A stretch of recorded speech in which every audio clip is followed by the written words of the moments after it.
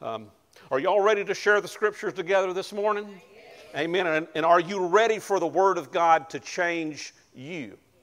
Amen. Okay, that's, what, that's why we're here today. Let's go straight to the scriptures in Ephesians 6 16. When it's on the board, there we go. In all circumstances, take up the shield of faith with which you can extinguish all the flaming darts of the evil one. Let's read it again. In all circumstances, in all circumstances, take up the shield of faith with which you can extinguish all the flaming darts of the evil one. Then, back several verses before that, when we talk about the, the armor of God, Paul tells the church in Ephesus, he says, Put on the whole armor of God that you may be able to stand against the schemes of the devil. Let me tell y'all something you probably already know. The devil wants to burn you up. He wants you to burn with him. You understand? He wants to burn you up now. He wants to shoot darts into you, arrows into you to destroy everything you are, everything you know, everything you've built, everything you've touched. The devil wants to burn you up. He wants you upset. He wants you frustrated. You know, it just amazes me when we, we talk about the anger and being mad. If, if somebody makes you mad, what do you say? That just burns me up. Right? I don't think this is a mistake. The words ring true. The devil wants to burn you up. He wants you to be mad.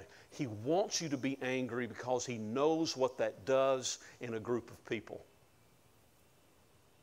And anger and our attitudes when we're upset, when we're mad, when we're.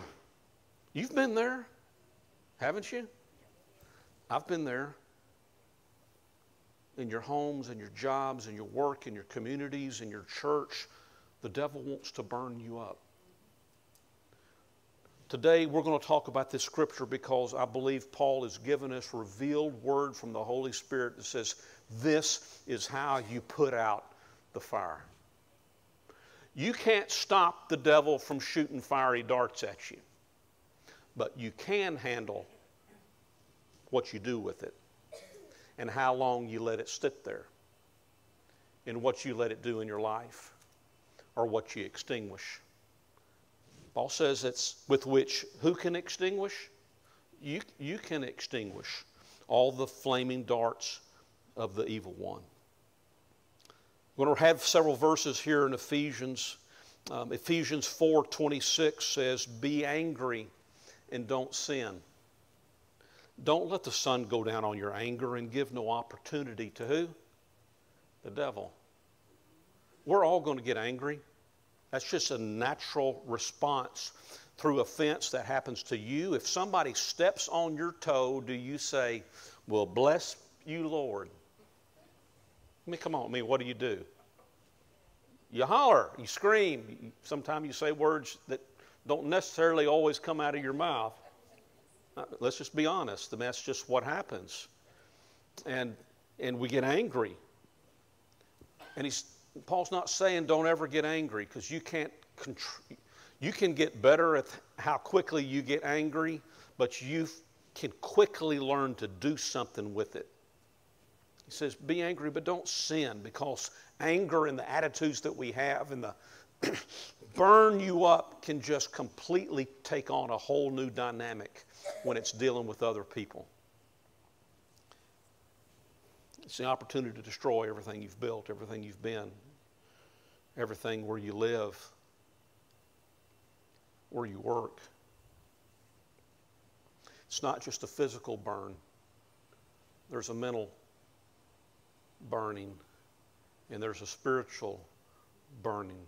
This warfare is not just physical, it is spiritual, it is mental, it is emotional. And I'm going to tell you anytime we get angry and we stay angry and we don't deal with it by the end of the day, it just doesn't go away. Those of you who are married and you go to bed angry, don't you just wake up the next morning bright and bushy tail, hi, honey. I don't know, maybe that's how it happens in your house. That's not how it happens in mine.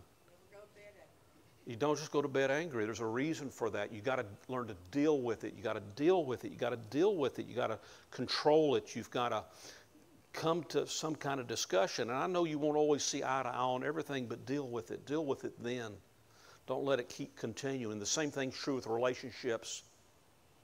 You're going to be upset at your friends. You're going to be upset sometime at your very best friends because they're going to do things, they're going to say things that just, there you go, just burns you up.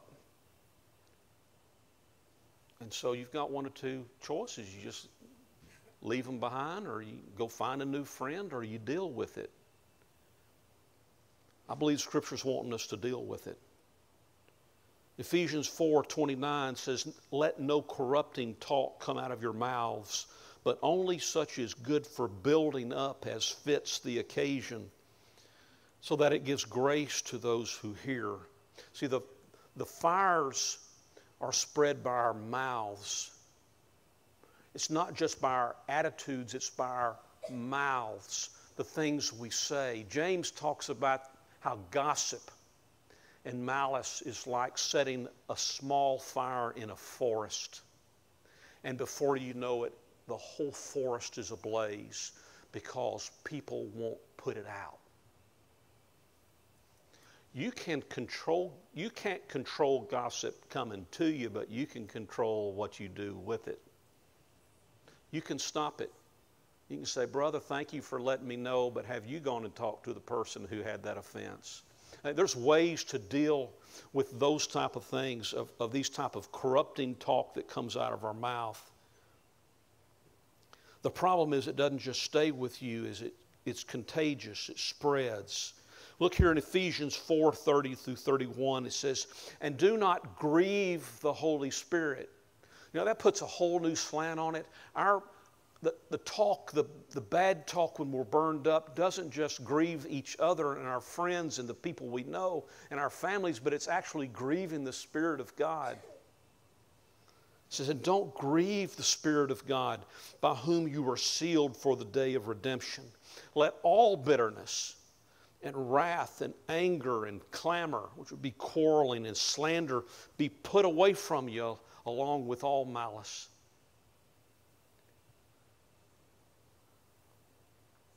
Nothing good comes from bitterness. Nothing good comes from the quarreling with wrath. Nothing good comes from anger.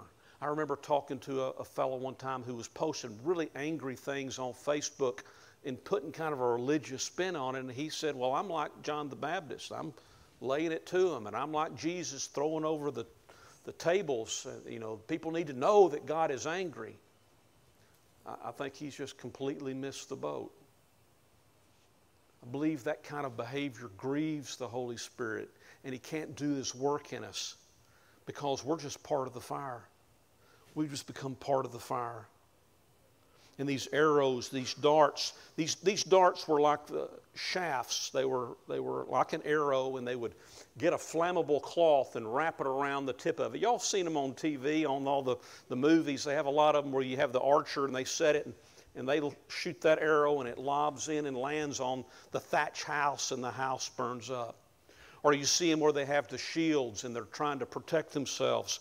The, the fiery darts were not just the kill shots, they were the chaos and confusion shots.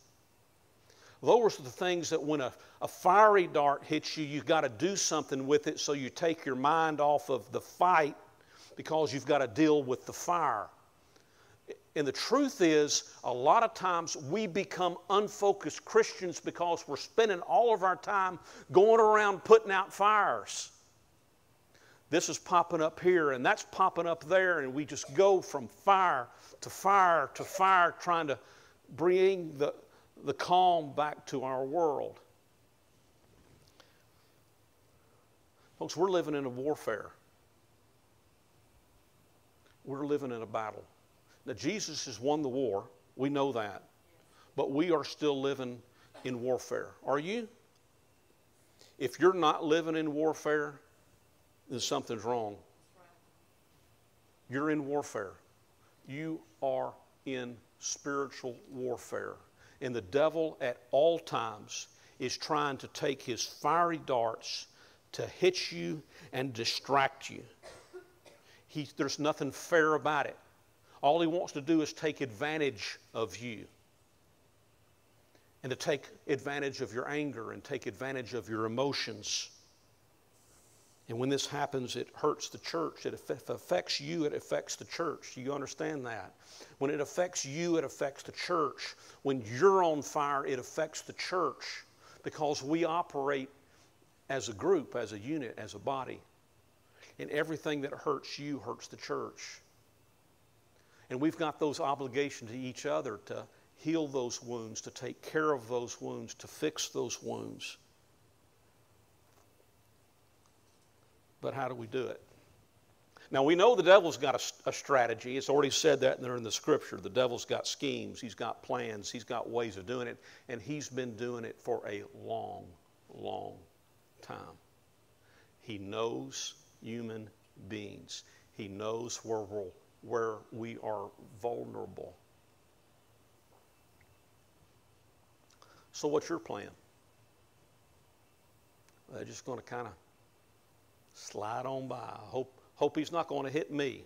Maybe if I just keep my head low, I won't take the arrows, I won't take the wounds. So I don't want to do too much because if I do too much, maybe I'll get the devil's attention and he'll be shooting at me. Can you imagine that kind of being, being that kind of a soldier on the battlefield? Is that the kind of soldier you would want to rely on? I just want to make sure I stay out of the way. I don't know about you, but I want somebody in a, in a soldier in a fight who says, I am here to fight with you. Is that the kind of person you want? I want us to look at each other. I want us to look at each other. I tell you what, I want somebody like Arlen fighting with me. I want somebody like Buddy Cash. I want him standing next to me saying, David, you can do it. Do not give up. The enemy is after you, and they've got to be right there. And so the strategy, the strategy is right here in Ephesians 6:10. In all circumstances, take up the shield of faith. We think of you know those, those little bitty shields that people would wear on their arms, these little shields, those were personal shields. Those were single battle shields when you are battling one on one with the enemy and you've got your sword or your javelin and you've got a personal shield. This is a different type of shield that Paul is talking about. It's a completely different Greek word. It's a word that uses the Greek word, the Greek base word door. Door. These were door shields. These were shields that are four foot tall, two and a half foot wide. And on top of them, they would have a metal rim and they would have a metal spine. And, and so that when a, a sword is hitting on the top of it, it hits a piece of metal. And they've got a handle there in the middle. And those shields are like a door, they're curved a little bit, and they're almost three inches thick, like plywood. Three layers of wood glued to each other and bound together by rawhide and painted with the color of the enemy. These were not individual fighting shields, these were group shields. And the person who carried this kind of shield worked as a unit with his army. And when they came upon the enemy or the enemy approached them, they did not stand away from each other. They didn't scatter all over the room like we're scattered here. I mean, they were packed in like sardines. They, I mean, I'm telling you, if, if, if the army was coming and y'all were all shoulders with swords and you had your shield, the door shields, y'all would all be in the center aisles. I'm going to get you there eventually. So, and that's where they would be, and they would get right next to each other and almost interlocking with each other. And if somebody starts failing, the other takes the place. And there would be this line of people, if you can imagine, just imagine these big door shields. and these soldiers with the metal helmets on, and they've got, they've got hold of the shield, and they're even bracing it with their shoulder. They're waiting for the attack to come. And it's like the enemy's coming up against a wall of people. And then you've got a wall on the side. And then there are other people who have these walls who are standing back behind that front line. And what are they doing with their shields? They're holding them up, up on the up up in the air, because some folks um, are smart enough if they can't go straight through you, they're going to go over you.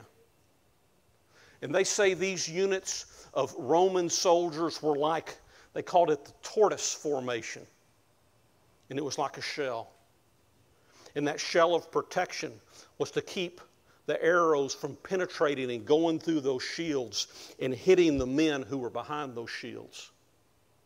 They fought as a unit, they moved as a unit, and they would slowly move. They would slowly move, and they've got the shields. They've got protection. And anytime somebody breaks rank, it is now making all the rest of the group vulnerable to attack. Every person who had a shield had a purpose and had a reason for being exactly where they were. That's the image that Paul is speaking to this church in Ephesians. Take up, take up the shield, the door of faith, and put it in front of you by which you can quench all the flaming darts of the evil one that come and you deal with it. And if that flaming dart hits that shield, you get your, your sword and you, you whack it. And it's been extinguished, it's gone.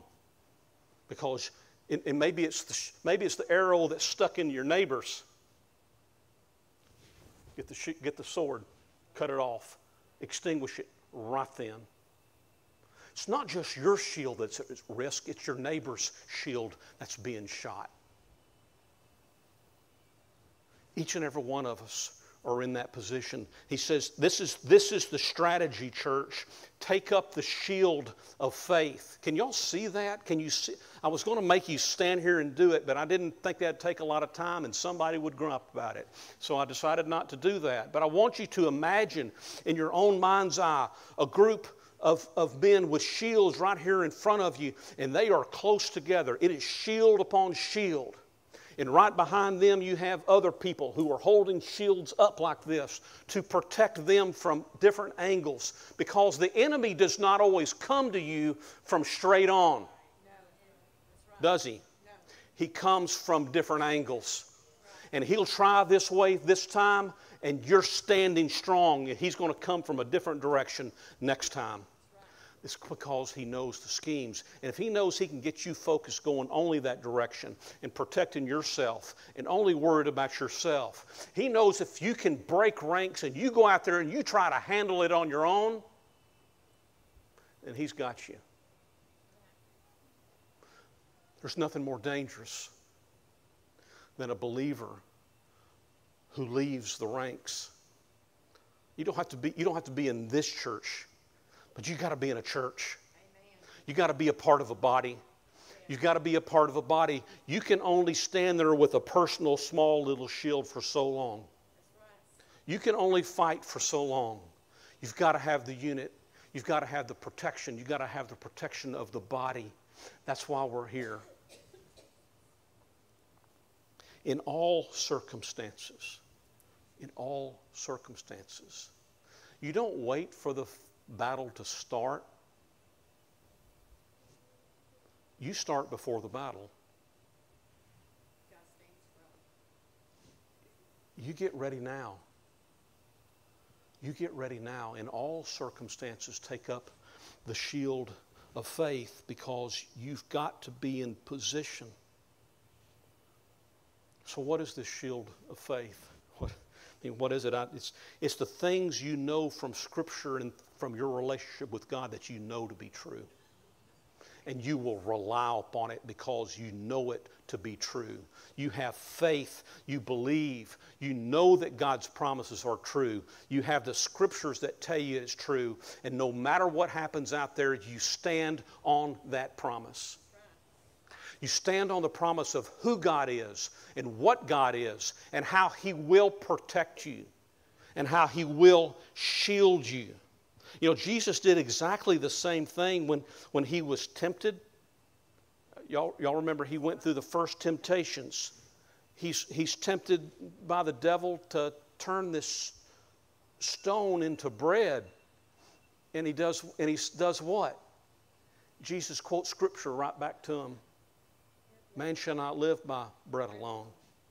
But the devil, see, then came from a different angle.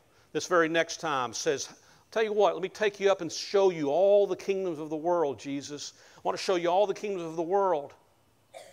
And, Jesus just turns right around eh, eh, because the devil wanted him to worship him and says, If you'll just worship me, you can have all this stuff. And Jesus fires right back with a scripture that he knows to be true because he's the author of it and says, You shall worship the Lord God and him only. The third one says, Why don't you just throw yourself down off of the, off the temple and your angels will catch you, trying to get them to do a, a show, to do a, a trick, to test them. And Jesus fires right back, says, Do not tempt. It is, it is written, Do not, You shall not tempt, test the Lord your God.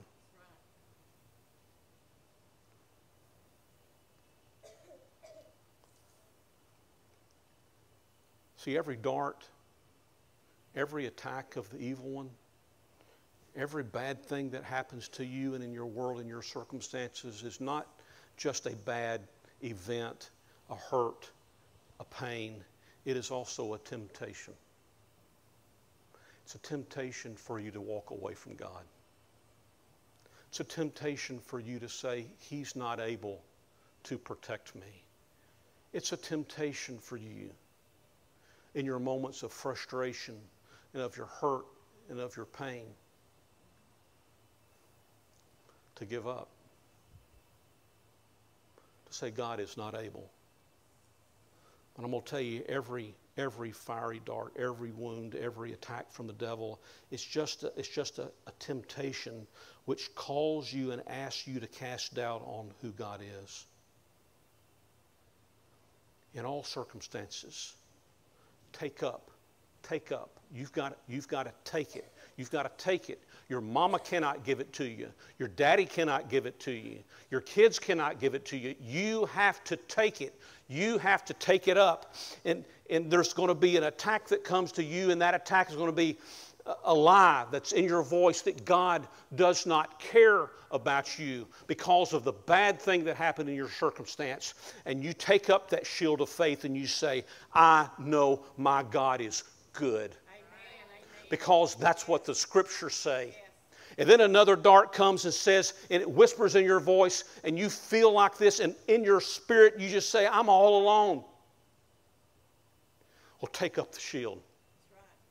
Because the scripture says, I will never leave you, I will never forsake you and you take up that shield of faith when the, your past gets being brought back up by the devil and says, You are no, do you know who you are? Do these people in this church know what kind of man you were? What kind of woman you were?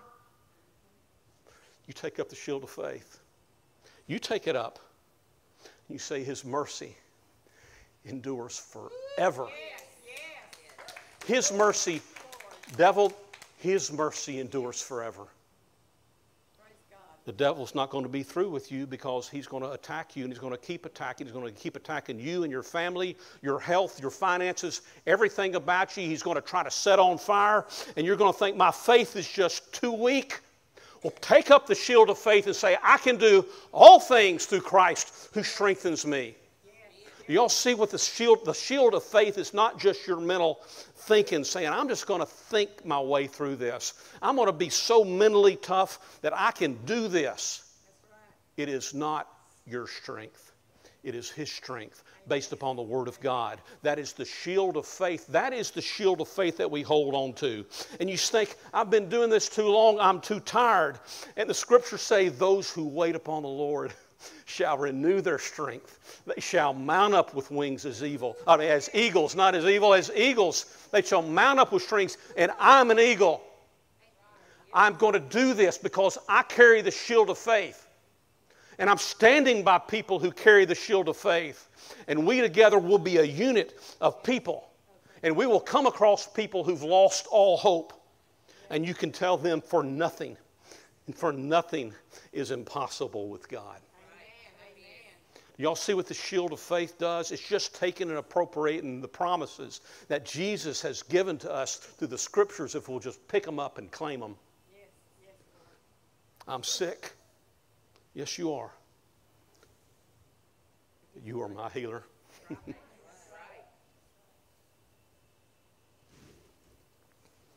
Others want to destroy you, and some may. And they tried to to destroy Jesus, and Jesus took up the shield of faith and said, Father, forgive them. or they don't know what they're doing.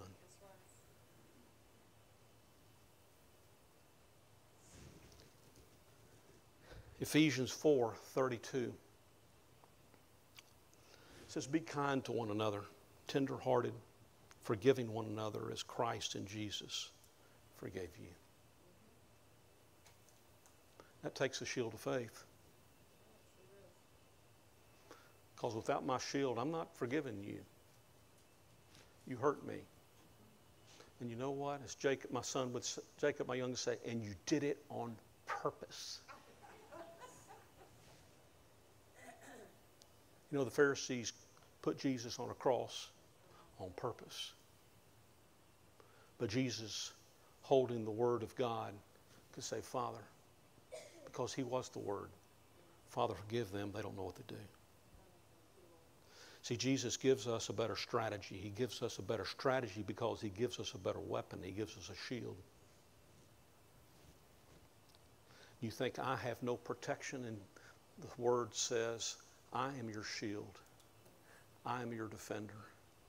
I'm your protector. See, it's this shield of faith that neutralizes the flame it neutralizes the flame, it stops the flame, but it only stops the flame if I'm holding and taking up the shield of faith. I hope you'll let me give just a few more examples of people in the Bible who did this. Y'all remember the stories about Shadrach, Meshach, and Abednego? Yep. They were in, in Babylon, and, and Nebuchadnezzar threw them into the fiery furnace. and he was expecting them to burn up. And they told him before he was thrown in there, says, The God we serve is able to deliver us. The God you serve is able to deliver you. And even if he does not, even if he does not, we will not serve your gods. What faith? And when they looked in the fire, there were four of them, not three. Because the fourth one looked like a son of God who was standing there with them in the fire. You going through a fire? You speak out the words of faith. You speak out the words of faith. My God, I know you will deliver me, but even if you do not, I will trust you. Because this world is not all there is. This is the beginning of a whole eternity. Job. Going through, if, can you think of anybody who took more shots than Job? Anybody who took more shots than Job? And he said, Lord, even if you slay me, even if you slay me, I will trust you. Paul prays for relief from the thorn of his flesh, and God speaks to him and says to his, to his heart, says, My grace is sufficient for you.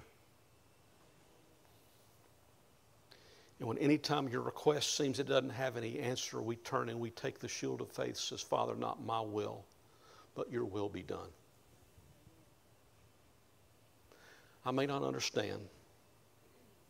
I may not understand, God, what you're doing, but I'm going to tell you if we take the shield of faith, that shield of faith says, all things work together for good to those who are called by Him according to His purpose.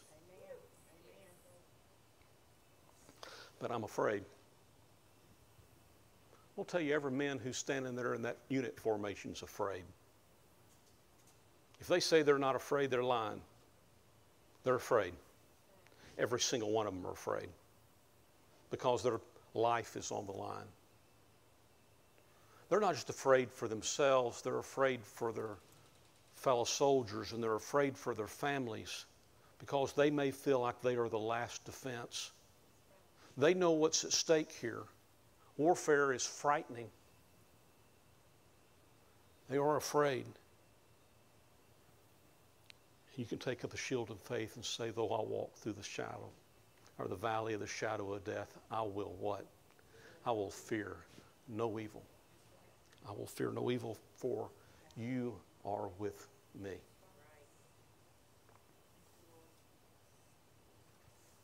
I know the Christian walk is not easy. I know the shield gets heavy. But you don't have to carry this alone. You don't have to fight this alone. I want us to look for people outside of our shields because they are weary and they are getting whipped. And we need to be telling them, come within the shield of faith. Join us. This is a place where you can be protected. This is a place where you can get some hope and where you can get some healing. Do y'all agree with me? Is this a place of hope? Is this a place of healing? And it's not because we're great people, most of you are.